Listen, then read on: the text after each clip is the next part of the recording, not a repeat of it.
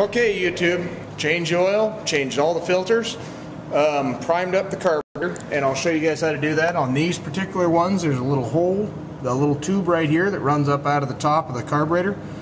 Um, I did forget to put on the oil cap though, so we'll put that back on.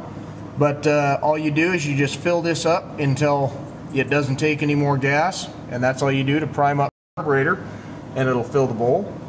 Um, obviously the needle and seat is closed. The one thing we're going to be looking for is that once you've freed up a needle and seat like that, sometimes you will have a tendency um, to not be able to seat again. So we may end up having to replace a needle and seat in this, but I don't know yet. We won't replace it unless we absolutely have to. This is the guy's work pickup, so it's not a huge issue for him. Um, if uh, if it doesn't need to be done, it's not a not an over the road long hauler type of deal. So, um, at any rate, we're going to look and make sure that there's no gas pouring out of this or out of the gaskets down in the carburetor once we get it fired up.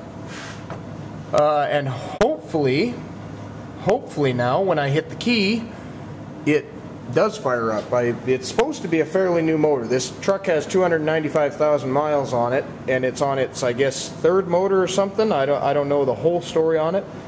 But uh, yeah, so anyways, we're going to give it a shot, see what happens. Um, here goes nothing. Give it a couple pumps of gas.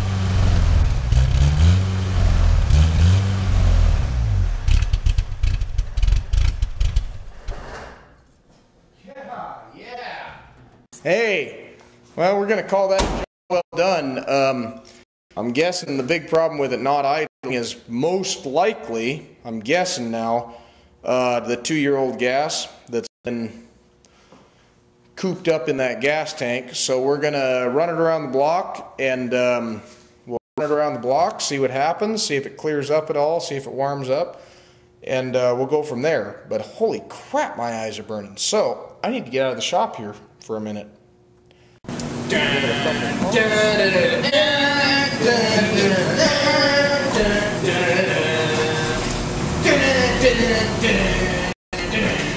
Breaking the law, breaking the law.